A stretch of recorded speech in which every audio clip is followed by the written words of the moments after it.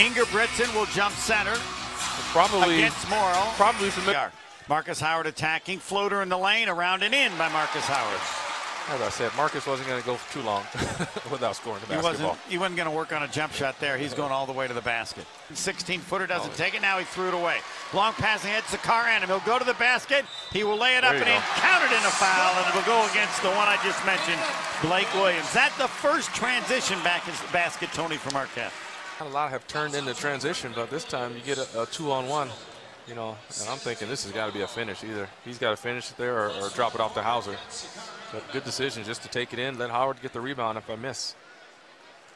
Corner Great three, pass. Joey Hauser. Good. There's the first three. See how I dialed that up too? You did. Joey Hauser, the outstanding freshman, making some shots. Joey Hauser, 30 feet away, still way outside the arc. Markus Howard, a couple of dribbles to the foul line. Further out left, Chartouny. Inside, Joey Hauser, turn, shoot, scores. Oh, he's- Baseline 10 footer. Damon Key-esque. Two in a row. I think he's heating up officially. Yes. Hauser for Hauser. Inside to Matt Heldt. Doesn't look to score. Back out to Joey Hauser. They stay on the perimeter. Deep in the corner. Bailey can't get the three off. Two, three, four dribbles. Spins, turns, fadeaway jumper around Oh, yeah. and in. That was impressive. Brendan Bailey's first basket. Clary drives baseline double team, threw it away. Good defense by Marquette. Here's Markus Howard, fast break. Good Wide numbers. open. Bailey, three in the corner. That's gonna go. It is. There you go. Told you this kid. I like this kid.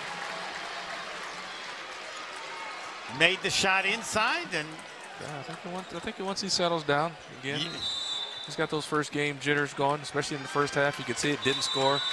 That he did. 68-34 Marquette. Joey Hauser baseline eight feet away. Backing it. Spinning, turning with the left hand. Laid it up and in. Wow. Yeah. You're not the only one. Yeah, he almost went down there. I do like the fact that he was aggressive in the post. You know, I've seen a couple of guys in Marquette get it in the post, not looking to attack when they're played one on one. I think that's We will. Do. Yeah, it's contested, but that's it.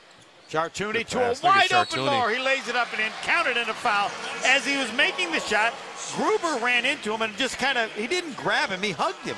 Yeah, well, watch the move by Chartouny to get open and draw Now the watch. draw the defense. No, I guess he did run into him and then just uh, stopped and grabbed it. So he makes it 85-44, nine seconds left. Marotta, There it is. he goes to the basket and scores. It's the loudest roar we heard all night. They night. were kind of expecting him to dribble it out, but so no one guarded him, so he just went all the way to the basket. Cam Marotta with the last basket. Well, the guy tried to guard him, but he just went around him. He did try to guard him. he tried to, yeah. Well, nobody helped out yeah, inside. there was no help. There's, they couldn't believe it. There they couldn't. 87-44 the final on the camera out of basket.